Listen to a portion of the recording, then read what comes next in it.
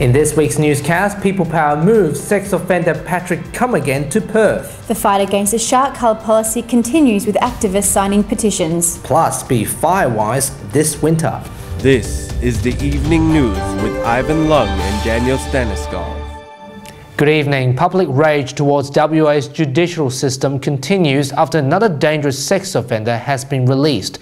Patrick Comeagain was moved to Perth after rural town residents threatened to take the matter into their own hands. James Richardson, a long-time justice campaigner for the victims of crime, joined me this week to discuss the issue. James Richardson, welcome to Evening News. Thank you very much for the opportunity. The release of dangerous sex offenders like Patrick Dennis Comeagain has sparked public outrage and fear within the community. Do you understand their concerns? Of course I do. But the, the trouble with uh, public uh, getting uptight about this, they can't do anything. And those that should be able to do, do something about it seem powerless. Uh, following the outrage by the local community and threats against him, Comeagain has now been moved to another location. Will this solve the issue? No, the, the, the potential uh, problem is still there. It's not going to change it. He, he's too, too dyed in the wool as a, a repeat sex offender. What's the alternative of moving him? Well, these sort of offenders need to be kept under control in, in a prison. After the roll out of the new GPS tracking device, it looks like that more and more dangerous sex offenders uh, like Comeagain and TJD will be out again. Uh, what's your view on that? Well, I mean to say there are very, very wily uh, people um, to be able to do what they've done so many times. They'll get, work their way around it somehow. The police minister said the government is against the decision and believe the offenders should remain in prison. Has the government done enough? Because under the separation of powers, they cannot directly um, intervene with judiciary. Well, I understand that, uh, but that's the excuse that's given every time I complain about these these sentences. Uh, but the uh, the community is still uh, at risk.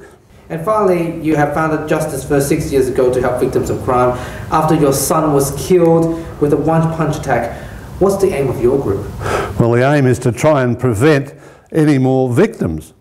That's, that's plainly what, what our, our main aim is.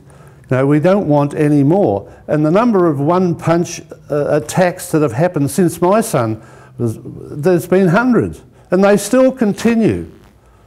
You know, nothing has been put in place to make a penalty severe enough to make people wake up. James Richardson, thanks for your time. Thank you very much for the opportunity to speak.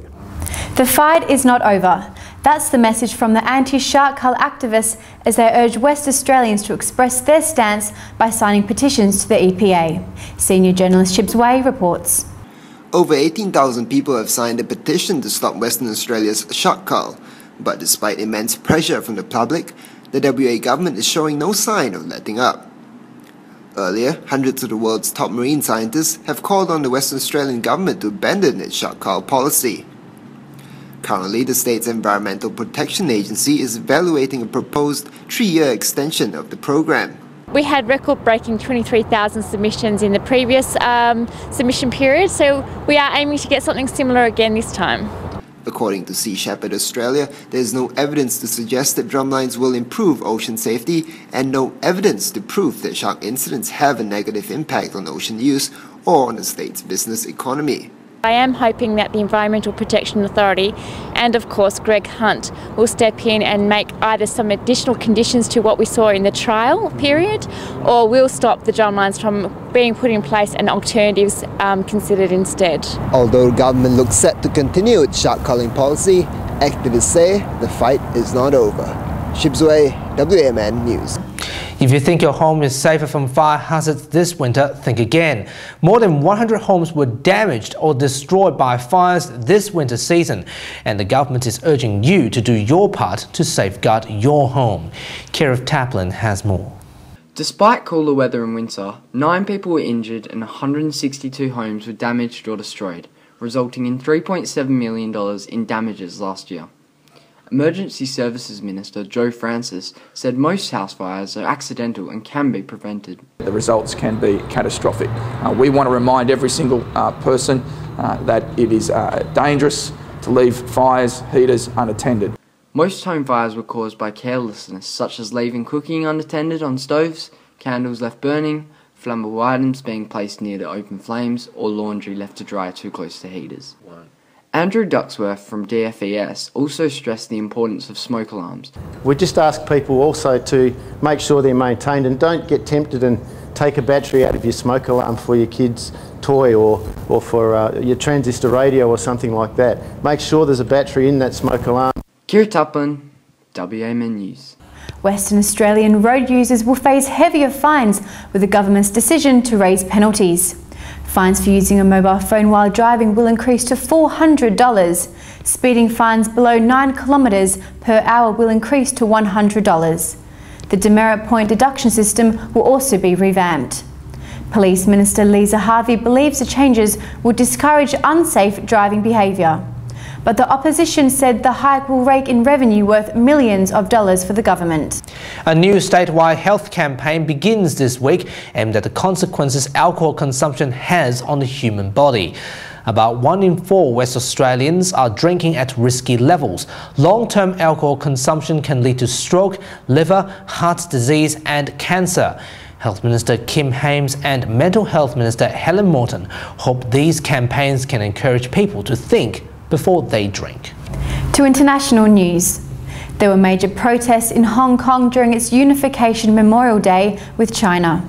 Meanwhile, Canada celebrates its National Day with pride and joy. Here's Ally Harper with a summary of this week's world news. In Hong Kong, over 510,000 protesters attended July's first protest, breaking the previous record that police say was only 98,600. The White Book, issued by the Chinese government in mid June, had been a fuse for the record breaking attendance of the rally.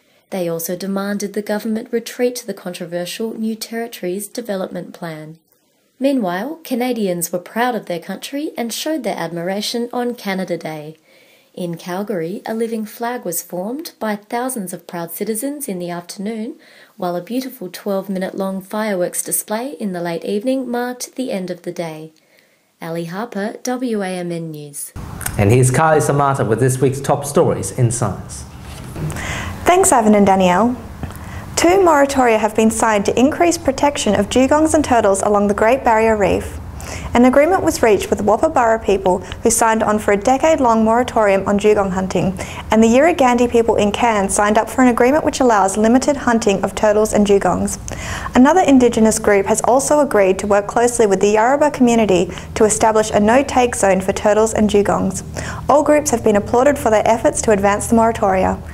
The results of a WA-led study bring good news for dairy lovers.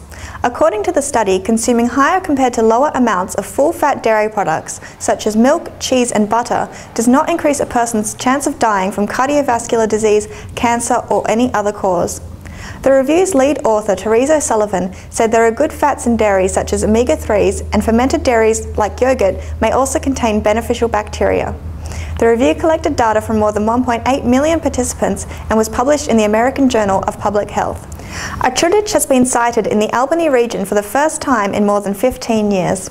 The elusive marsupial was spotted by a Department of Parks and Wildlife officer at Two People's Bay. Environmental Minister Albert Jacobs said it is an exciting discovery and the good news is that chuditch numbers have been increasing in response to the successful Western Shield fox control program.